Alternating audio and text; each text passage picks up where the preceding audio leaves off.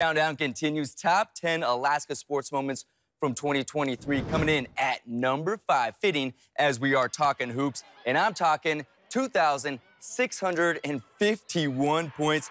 This bucket made Sayvia Sellers Alaska's all-time leading scorer in girls basketball history, something we may or may never see broken again. Who knows?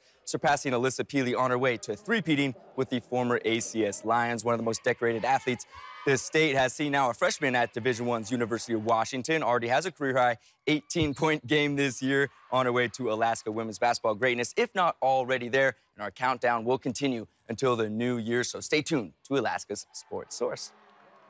Yes, yes, stay tuned, stay tuned.